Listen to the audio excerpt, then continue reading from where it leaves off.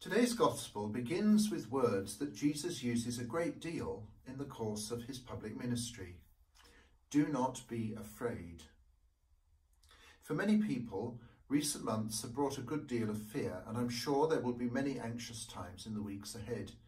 Indeed, so many people in today's society live with anxieties of one kind and another, and the COVID 19 pandemic has brought greater burdens. As the school term draws to a close, those who would have sat public examinations this year have particular worries. Others have concerns about their jobs, and of course the fears that come with ill health, whatever the cause of that may be, can be very great indeed. A particular joy in this last week has been the reopening of many churches across the diocese, at this stage for private prayer. Some are nervous, of course, about leaving home, and significant numbers of people must still self-isolate, so worries and anxieties continue. Into these present circumstances, then, Jesus' words bring consolation. As we reflect that he is always with us, bearing our burdens, lifting our fears, and bringing hope to our hearts. However, this is not all. For Jesus' words in today's Gospel are an introduction to the call to proclaim his word in a hostile world. In these present times, therefore, it is important for us to look to the future with hope, but also to reflect on the ways in which we will declare ourselves for Christ in a new context that lies ahead. In these recent weeks, so many parish communities have developed new ways of bringing people together in prayer and in community, often in a virtual way. Some of the lessons that we have learned will develop into new ways of proclaiming the gospel, of carrying out our mission. We must also be ready to go out into the world again when the time is right, calling our brothers and sisters into the reality of life with Christ as his faithful people, we must continue to proclaim the value of the human person, about which Jesus speaks in the gospel today, and the life and hope that we find in him, who takes away our fears and who will never disown us.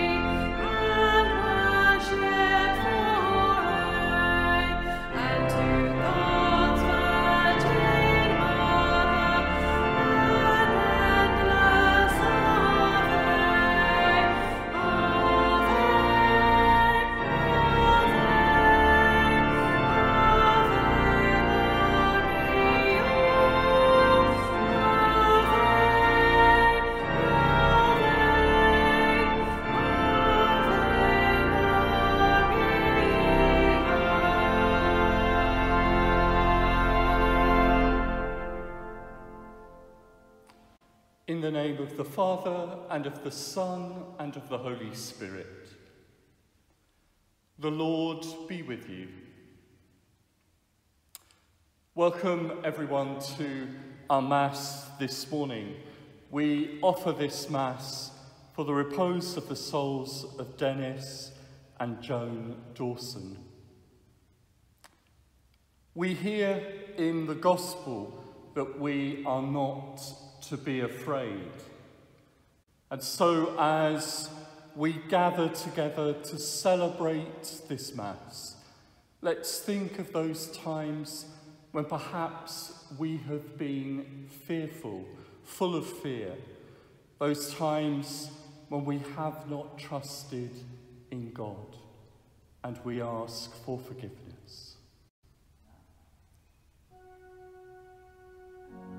You were sent to heal the contrite.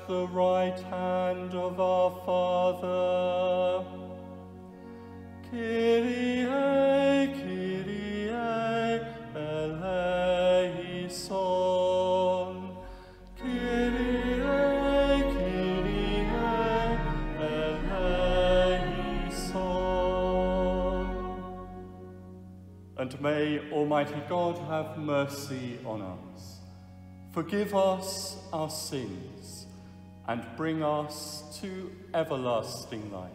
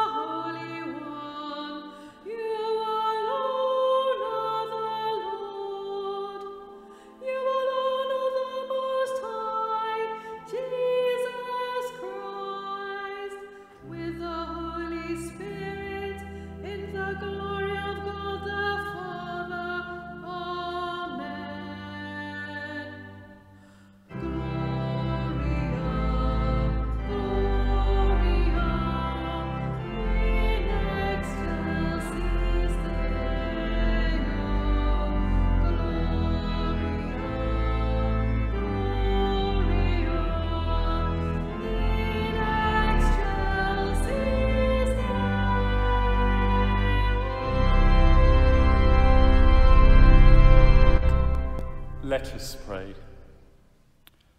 Grant, O Lord, that we may always revere and love your holy name. For you never deprive of your guidance those you set firm on the foundation of your love. Through our Lord Jesus Christ, your Son, who lives and reigns with you in the unity of the Holy Spirit, one God forever and ever.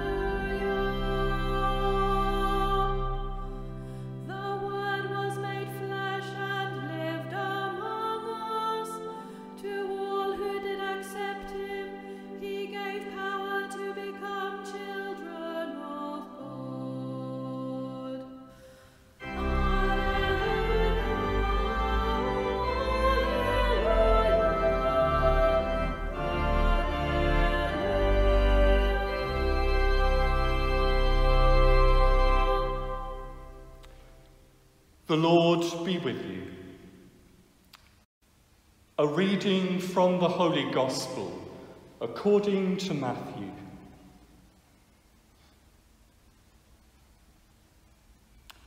Jesus instructed the twelve as follows Do not be afraid, for everything that is now covered will be uncovered, and everything now hidden will be made clear. What I say to you in the dark, tell in the daylight. What you hear in whispers, proclaim from the housetops. Do not be afraid of those who kill the body, but cannot kill the soul. Fear him rather, who can destroy both body and soul in hell. Can you not buy two sparrows for a penny, and yet not one falls to the ground without your Father knowing? Why, every hair on your head has been counted, so there is no need to be afraid. You are worth more than hundreds of sparrows. So if anyone declares themselves for me in the presence of others, I will declare myself for them in the presence of my Father in heaven. But the one who disowns me in the presence of others, I will disown in the presence of my Father in heaven.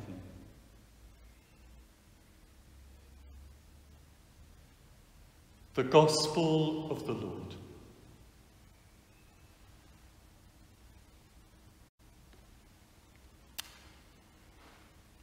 So, this week will mark a very small step for us as a parish community as we begin to return to some sort of semblance of normality.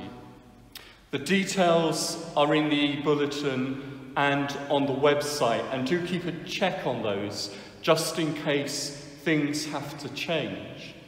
But thanks to those who have volunteered, who are still volunteering, we're going to be able to open up the church just for a few small hours on a few days in the week at the moment, but we can open up the church for private prayer. There are, of course, regulations that accompany this. spatial distancing, an entrance and an exit route through the church, uh, hand washing, sanitizer is available. There will be stewards monitoring uh, the use of the church and what's happening in the church, and of course, there to help as well. And then, of course, when the church closes and before we open up again, there will be a small army of cleaners who will be in here cleaning the church so that it can be opened again.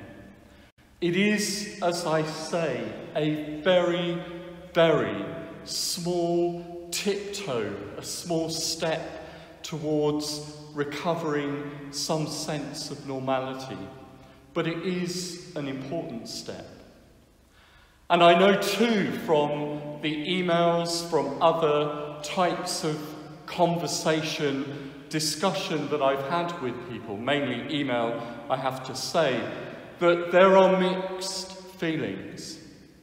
For some, it will not be enough, that even this small reopening uh, is too small a step and too late. And I hear that and I understand those feelings. Others, though, are anxious, not just those among us, and let's not forget the virus has not gone away, it is still there. So there are people who are still shielding.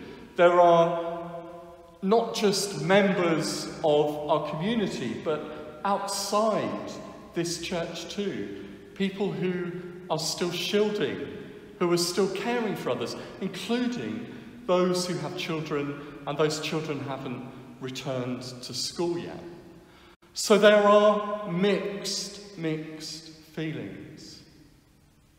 Into our mixed feelings, we hear that gospel and we hear those few short words. Do not be afraid. Let's trust in God and trust in each other that we can not just pace this wisely and correctly, but that we can put in place a range of precautions that minimize risk for those who do come into church and at the moment come in to simply pray alone. There's been much written about the effect of this virus on parish life. And some have said that our empty churches tell us a few things. One of the things is that, well, we don't actually need to be here physically we can participate in Mass virtually. Indeed, I know there will be many not watching me this morning, but they'll be watching, celebrating Mass from Rome or from Ireland or from anywhere else that fits and suits. And that's absolutely wonderful. But what we must never forget is it isn't simply about this place. Some of you have emailed and said, one of the best things, it clearly isn't me and it certainly isn't my sermons, one of the best things about these Sunday morning masses has just been to be able to see their church again. But we are church.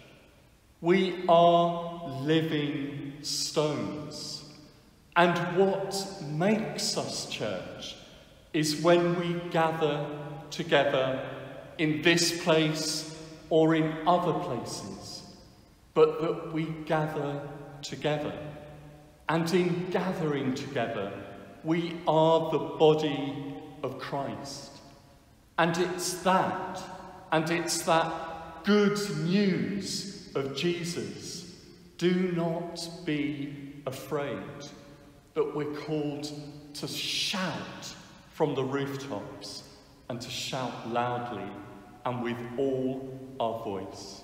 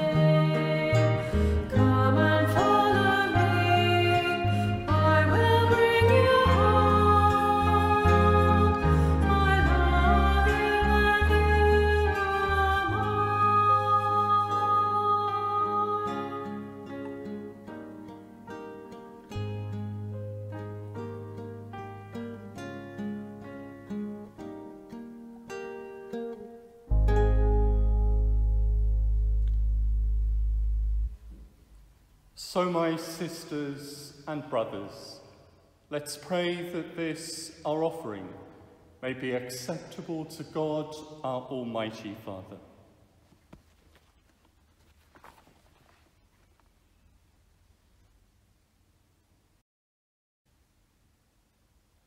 Receive, O Lord, the sacrifice of conciliation and praise, and grant that cleansed by its action, we may make offering of heart pleasing to you. Through Christ our Lord. Amen. The Lord be with you. Lift up your hearts. Let us give thanks to the Lord our God. It is truly right and just, our duty and our salvation, always and everywhere to give you thanks, Father most holy, through your beloved Son, Jesus Christ, your word, through whom you made all things, whom you sent as our Saviour and Redeemer, incarnate by the Holy Spirit and born of the Virgin. Fulfilling your will and gaining for us, a, for you, a holy people, he stretched out his hands as he endured his passion, so as to break the bonds of death and manifest the resurrection. And so, with the angels and all the saints, we declare your glory as with one voice we acclaim.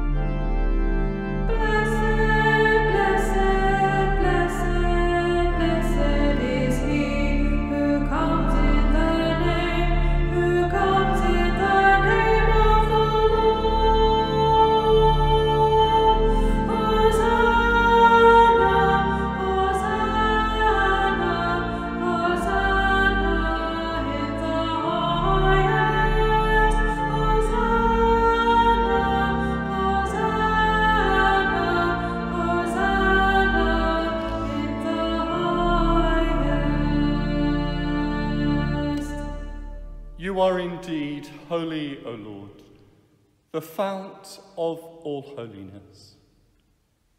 Make holy, therefore, these gifts, we pray, by sending down your Spirit upon them like the dewfall, so that they may become for us the body and blood of our Lord Jesus Christ.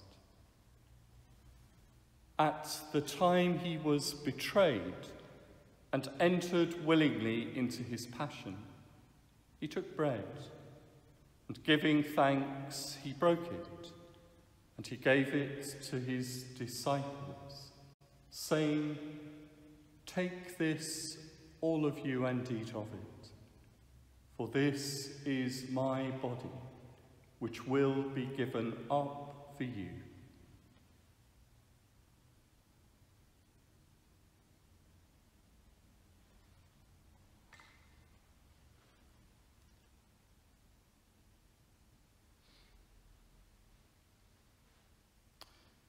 In a similar way, when supper was ended, he took the chalice, and once more giving thanks, he gave it to his disciples, saying, Take this, all of you, and drink from it, for this is the chalice of my blood, the blood of the new and eternal covenant which will be poured out for you and for many for the forgiveness of sin. Do this in memory of me.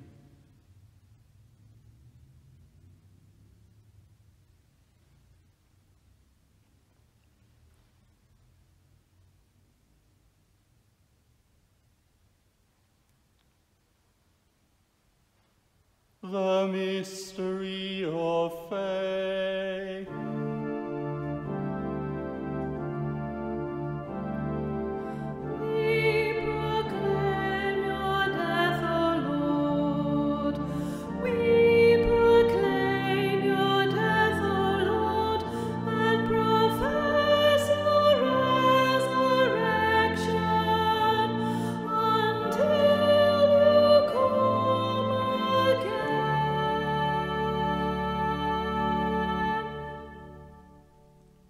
Therefore, as we celebrate the memorial of his death and resurrection, we offer you, Lord, the bread of life and the chalice of salvation, giving thanks that you have held us worthy to be in your presence and to minister to you. Humbly we pray that partaking of the body and blood of Christ, we may be gathered into one by the Holy Spirit. Remember, Lord, your church, spread throughout the world, and bring her to the fullness of love, together with Francis, our Pope, Richard, our Bishop, with all clergy and religious, and with your entire people. Remember your servants, Dennis and Joan, whom you have called from this world to yourself. Grant that they, who were united with your Son in a death like his, may also be one with him in his resurrection. Remember also all our sisters and brothers who have fallen asleep in the hope of the resurrection, and all those who have died in your mercy. Welcome them into the light of your face. Have mercy on us all, we pray, that with the Blessed Virgin Mary, Mother of God, with blessed Joseph, her spouse, with the blessed apostles, with Saint Paul, and with all the saints who have pleased you throughout the ages, we may merit to be co-heirs to eternal life, and may praise and glorify you through your Son, Jesus Christ. Through him and with him and in him, O God, almighty Father, in the unity of the Holy Spirit, all glory and honor is yours forever and ever.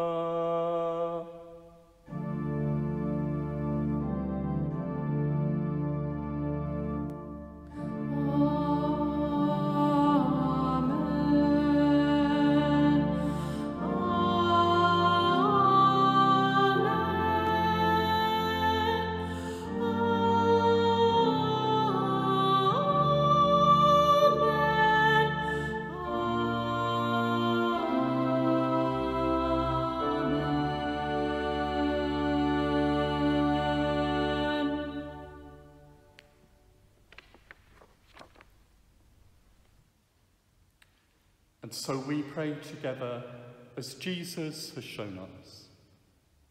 Our Father, who art in heaven, hallowed be thy name. Thy kingdom come, thy will be done on earth as it is in heaven. Give us this day our daily bread, and forgive us our trespasses, as we forgive those who trespass against us. And lead us not into temptation, but deliver us from evil. Deliver us, Lord, we pray, from every evil. Graciously grant peace in our days, that by the help of your mercy, we may be always free from sin and safe from all distress, as we await the blessed hope and the coming of our Saviour Jesus Christ.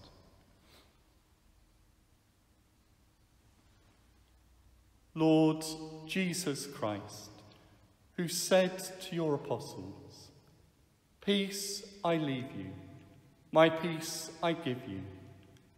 Look not on our sins, but on the faith of your church, and graciously grant her peace and unity in accordance with your will, who live and reign for ever and ever. The peace of the Lord be with you always. And let's offer each other a sign of peace.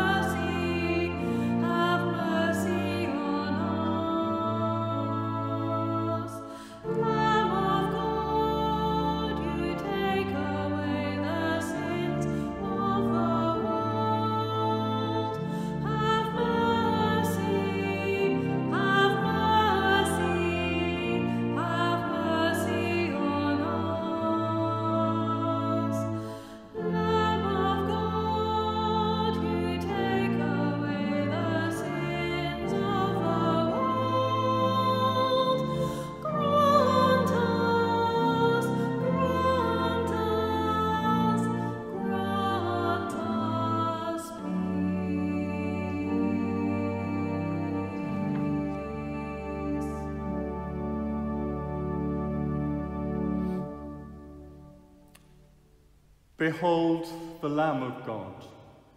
Behold him who takes away the sins of the world. Blessed are those called to the supper of the Lamb. Lord, I am not worthy that you should enter under my roof, but only say the word, and my soul shall be healed.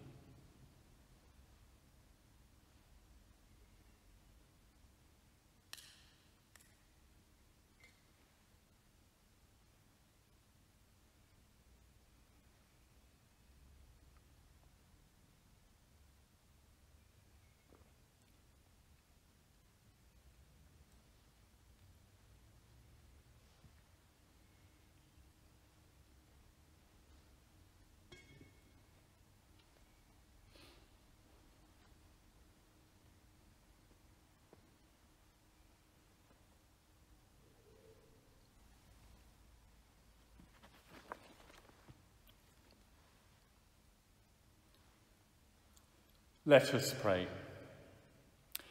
Renewed and nourished by the sacred body and precious blood of your Son, we ask of your mercy, O Lord, that what we celebrate with constant devotion may be our sure pledge of redemption. Through Christ our Lord. The Lord be with you. And may Almighty God bless us, the Father, the Son, and the Holy Spirit. And let's go in peace to love and to serve the Lord. Thank you very much, everyone. Thank you.